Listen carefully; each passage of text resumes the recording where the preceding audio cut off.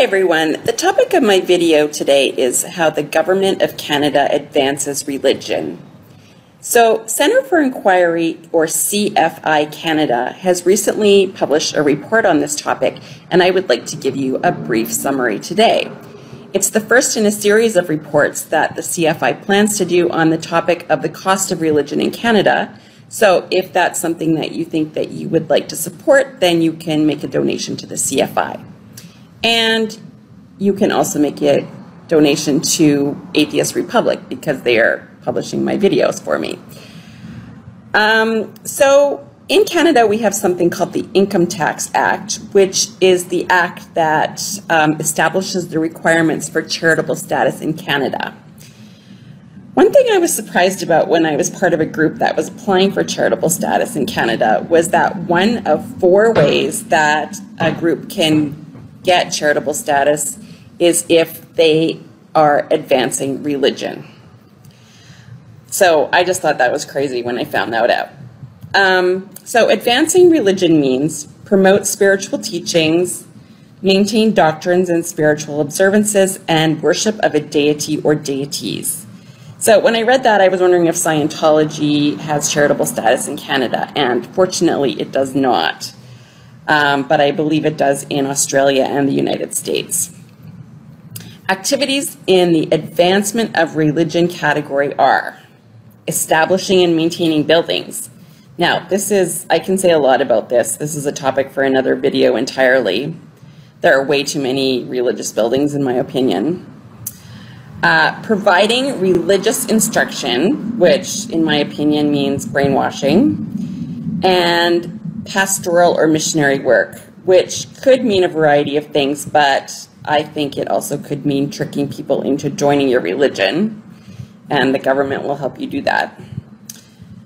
CFI reviewed the data for all Canadian religious charities in 2017. They made some assumptions in doing their calculations, but it looks like Canadians donated about $7 billion to religious charities. So how it works is that people donate money and then the government gives them a tax break on that money. So they end up paying less tax than they normally would. CFI used two different scenarios to calculate a low and high estimate of the income tax relief, and they came up with a value of between 1.6 and 3 billion dollars. So that's money that the government could collect and spend on other things. So I look at that and I think, well, $3 billion, our government, you know, spends a lot of money on stupid stuff anyway, so does it really, really matter? Um, but I think in this case, the most important thing is maintaining the separation of church and state, which isn't really happening with this act. So the act needs to be changed not to include religious advancement as a charitable purpose. Um, I think it's important to remember that changing the act would not stop people from giving money to churches. It would just mean that they don't get a tax break for giving money to churches. In my opinion, that would be a win win situation for everyone. So, I used to attend a church briefly that asked for a 10% tithe on gross income, which is income before taxes, which I didn't do. But religious people really think of tithing as giving to God. So changing the act would just give them more opportunity to, to give to God and more opportunity to, to suffer and sacrifice and get out of purgatory faster. So it would just be really great for everybody. It would be good for the salvation of Christians and it would be good for the secular population of Canada who should not be advancing religion. Um, I see in the CFI newsletter that there was a court challenge by something called the Church of Atheism, which was denied. And it's really unfortunate that atheist groups have to pretend to be churches in order to get charitable status. Um, I think the only other way to challenge this or to change the act is to uh, introduce a private member's bill. So I could ask my member of parliament to do that. I doubt that he would.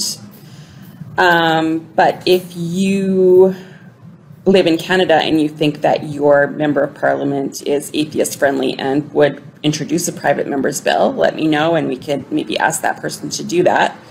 I would imagine probably in Quebec we would have more luck since Quebec is more secular than other provinces.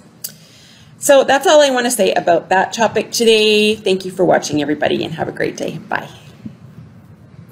Atheists are under attack in many places. If they were Christians, their voices would be heard. If they were Jews, their voices would be heard. If they were Muslims, their voices would be heard. But they are atheists, and not many seem to be listening. Let's make it difficult for them to ignore us.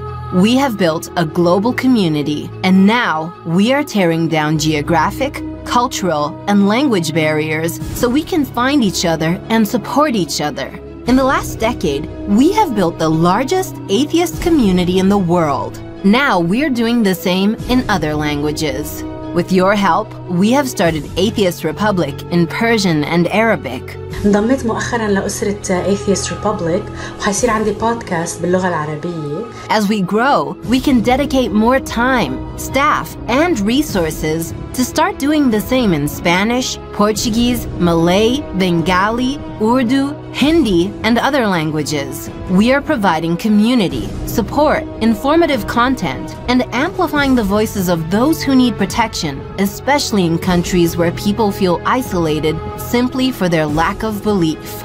We want to be there for them, and we are only getting started. Help us get there. Check in the description for ways you can support our projects.